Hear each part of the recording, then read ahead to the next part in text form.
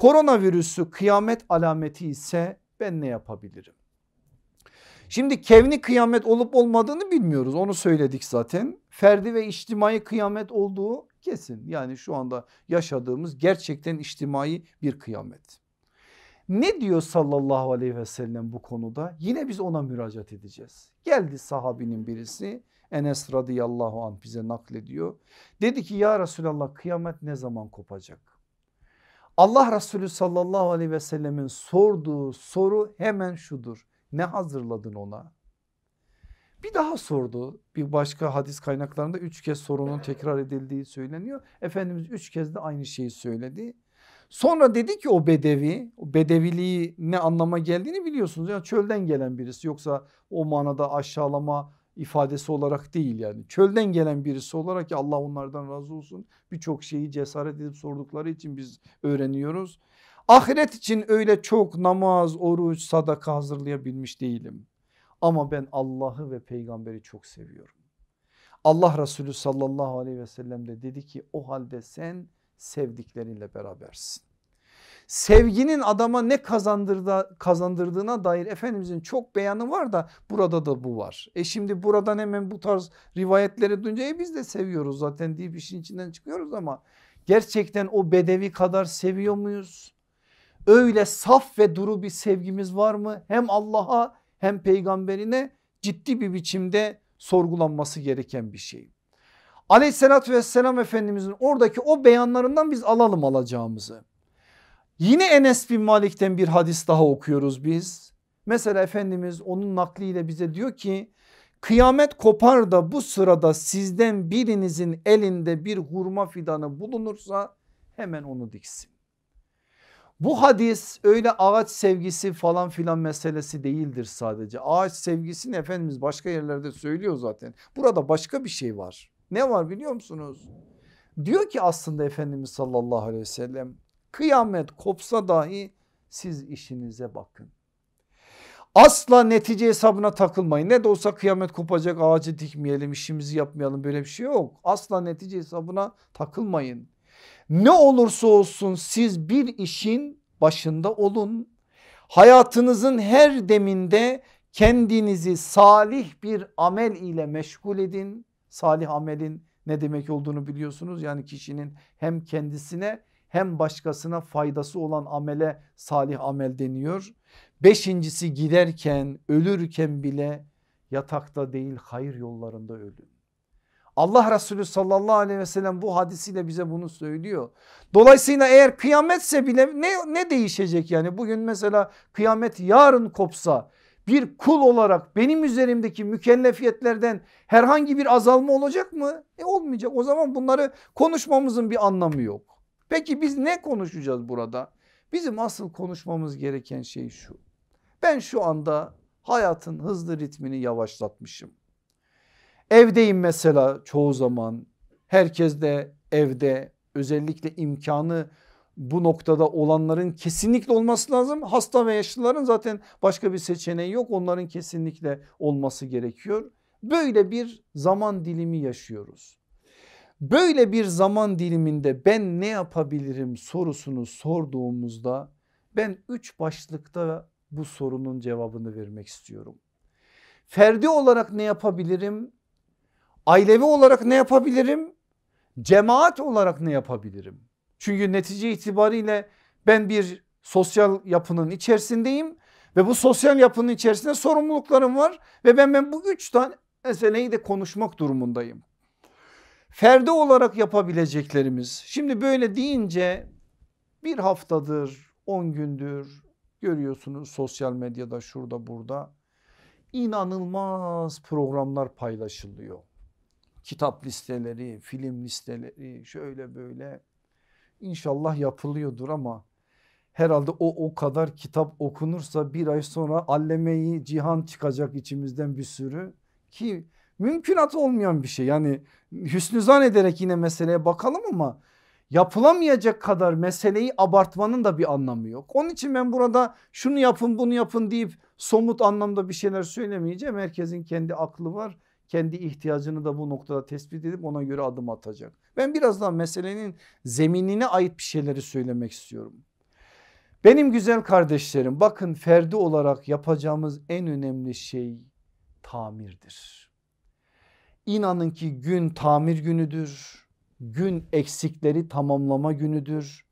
Gün yaraları sarma günüdür. Çünkü çok yaraladık biz.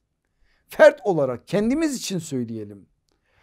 Öyle eksiklerimiz var ki namazlarımızda, nafile anlamda ibadetlerimizde, Rabbimizle olan münasebetlerde, dualarımızda inanılmaz eksiklerimiz var. Biz birbirimizi biliriz, birbirimizin aynasıyız bilmez miyiz? Veba salgını sırasında şehit olan Muaz İbni Cebel'den size bir tablo aktarmak istiyorum. Böyle son anları oğlu da yanında, oğlu da daha sonra vefat edecek zaten o anda oğluna diyor ki oğlum insanlarla az Rabbinle çok konuş belki o zaman kalbin Rabbini görür. Dehşet bir ifadedir bu. İnsanlarla az Rabbinle çok konuş belki o zaman kalbin Rabbini görür. Bu ne demek biliyor musunuz? Aslında söylenen şey ihsandır. Allah'ı görüyormuşçasına Allah'a kulluk etmek. Hayatın o hızlı ritmi bize bunu imkanı vermedi. Biz de fark etmedik. Bir anda frene basıldı birçok alanda şimdi durduk. Bir boşluğa düşmüş vaziyette birçok insan. Dönüp bu noktada bu boşluğun aslında zeminine ait bazı şeylerin irdelenmesi gerekiyor. Ferdi olarak yapacağımız en önemli şey Allah'la irtibatımızı güçlendirecek vesileleri zorlamaktır. Bunlar nelerse Herkes kendini iyi biliyor. Herkes bu noktada ihtiyacını da iyi biliyor. Ailevi olarak yapabileceklerimiz ne kadar çok yıprattığımız belli ve gerçekten şunu da görüyorum ve gördükçe de üzülüyorum. Bazı kardeşlerimizde evde kalmak mezarda kalmak gibi inanılmaz bir şey yani. Çünkü öyle bir halde ki o noktada evdeki ev hukukunu, aile hukukunu, hanımıyla, çocuklarıyla olması gereken hukuku koruyamadığı için inanın ki insanlar kendilerini bir an önce dışarıya atmanın mücadelesini veriyor ve bu iyi bir şey değil. Zaten şu anda birçok sorun aslında aileden kaynaklanıyor.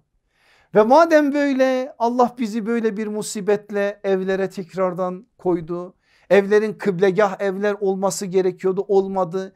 Cennetin şubeleri olması gerekiyordu olmadı. Cehennemin şubeleri olmaması gerekiyordu ama ne yazık ki cehennemin şubeleri oldu.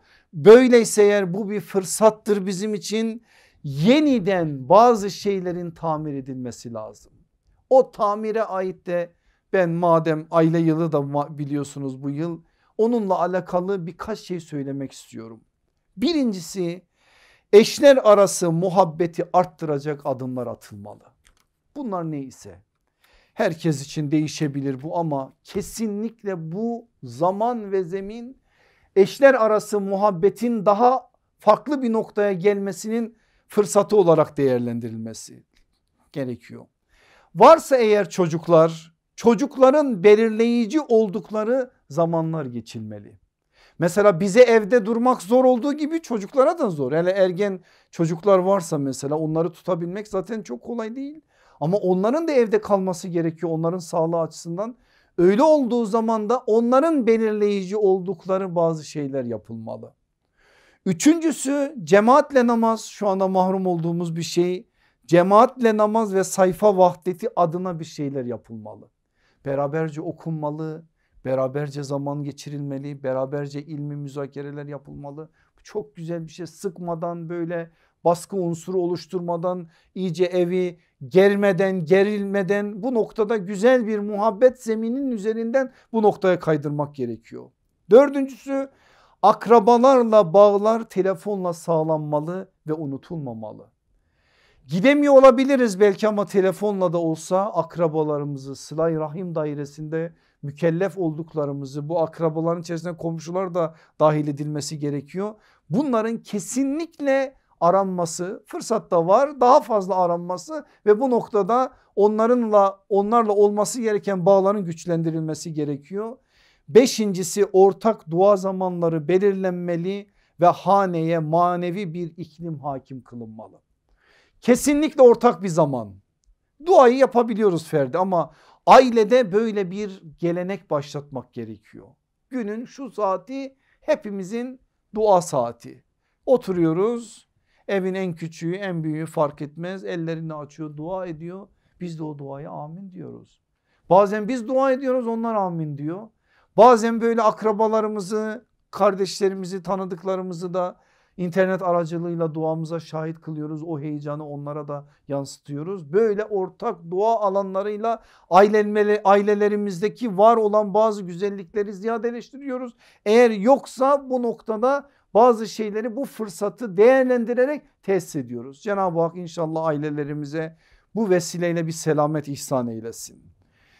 Cemaatsel olarak yapabileceklerimiz hepimiz dediğim gibi sosyal grupların içerisindeyiz olmamız da gerekir zaten İslam cemaat dinidir çünkü bu süreçte asla bağlar kopmamalı arkadaşlar. Bakın belki birbirimize gidip gelemiyor olabiliriz. Belki ilim meclislerimiz şu anda yok. Haftada kaç gün biz bu noktada birçok kardeşimizle talebelerimizle bir araya geliyorduk ama yok şu anda. Şu anda yoksa bu olmayacağı anlamına gelmez. Demek ki bir şeylerin nadasa bırakılması gerekiyordu. Bu musibet mevsimini bir nadas mevsimi olarak aslında düşünmemiz gerekiyor. Niye nadasa bırakılır toprak biliyorsunuz değil mi? Daha gür çıksın daha verimli olsun. İnşallah bu da öyle olacak Allah'ın izniyle. Bu noktada hiç ümitlerinizi yitirmeyin hiçbir şekilde olan biten dediğim gibi bir şey yok Allah'ın izniyle daha güzel olacak daha da iyi olacak.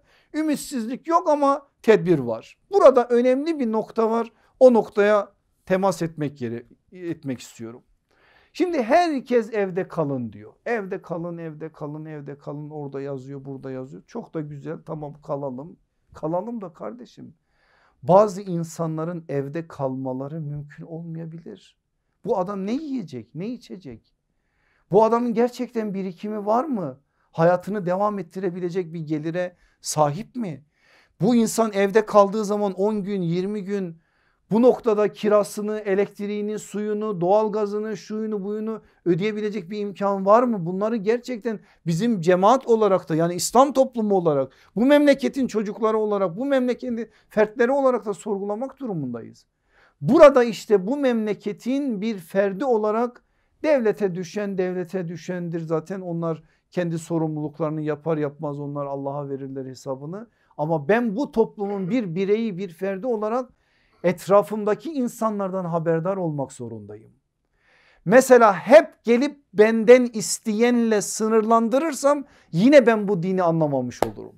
Çünkü bu din ne diyor biliyor musunuz? Mensuplarına iffetli olun diyor. Bu iffet kavramı zaten bizim elimizden çeken bir kavram. Biz bu kavramı daralttık daralttık daralttık indirdik kadına sadece kadına ait bir şey olarak anladık. Kadından da indirdik örtüye Katlettik gitti zaten o kavramı. Bu değil iffet nedir biliyor musunuz? İhtiyaç halinde olmasına rağmen kimseye el açmamasıdır. Var mı yok mu nereden bileceğiz? Ancak sorduğumuz zaman bilebiliriz. Ancak bu noktada o insanların gerçekten hayatlarıyla temas ettiğimiz zaman bilebiliriz. Haberdar olduğumuz zaman bilebiliriz. Burada da bir sorumluluk düşüyor bize. Yakın etrafımıza yani herkesten tabii ki haberdar olamayız ama arkadaşlarımızın içerisinde, akrabalarımızın içerisinde, dostlarımızın içerisinde, şu zorlu süreç içerisinde, sıkıntı içerisinde olanlar varsa biz kendimiz de ne kadar zorda olursak olalım bu noktada bu din bize bir sorumluluk yüklüyor. Bu sorumluluğun gereğini yerine getirmemiz gerekiyor. Hepimizin kabul edeceği bir hakikat var benim güzel kardeşlerim. Şu anda bir kriz ortamındayız. Kriz ortamında iki tane mesele ortaya çıkar. Biri insanla Allah arasındaki meseledir. Biri insanla başka insanlar ve başka varlıklar ona hayvanlar da dahil çünkü başka insanlar ve başka hayvanlar başka varlıklarla olan meseledir. İnsanın Allah'la olan o sürecini ya da o hukukunu belirleyen anahtar kavram tevbedir kriz zamanları tövbe zamanlarıdır. Elimizi başımızı ellerimizin arasına alıp Allah'ım niye niye Allah'ım ben ne yaptım ki ne oldu söyledik ya işte ellerimizde yaptıklarımızdandır ciddi bir muhasebe tevbe zaten onunla yapılır biliyorsunuz. Diğeri ise kriz ortamlarında infaktır. İnfak olmazsa olmuyor. Şimdi kriz yaşandığı anda infakı hayattan çeken bir anlayışımız var. Bu batıl bir anlayıştır. Asıl bu zamanlarda olması gerekir.